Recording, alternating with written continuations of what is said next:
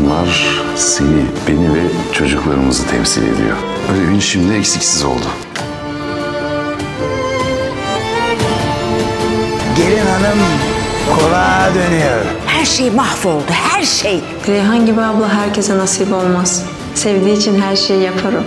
Kalk çabuk, kalk. Ne oluyor be? O küçücük aklınla oyun mu oynuyorsun ha? Hastanız benim doktor hanım. Neyin var peki? Kalbim son zamanlarda bir ağrı var. Yücel hemen polisi ara. Az önce gösterdiğin elmas yüzük yerinde yok.